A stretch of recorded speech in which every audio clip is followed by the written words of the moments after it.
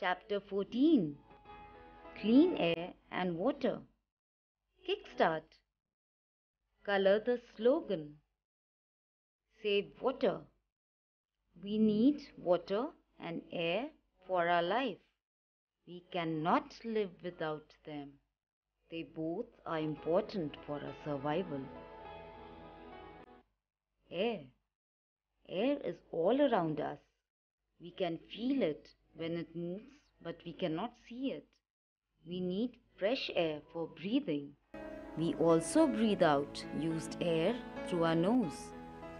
We get clean and fresh air from trees. So, we should plant more trees around us. Water. Water is also essential for our life.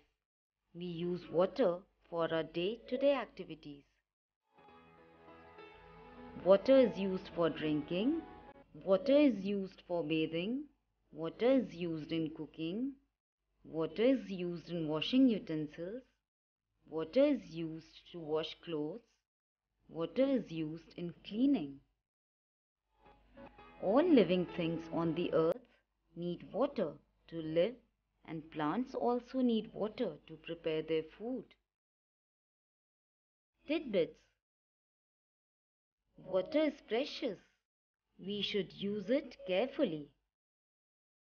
Looking back, we need water and air for our life.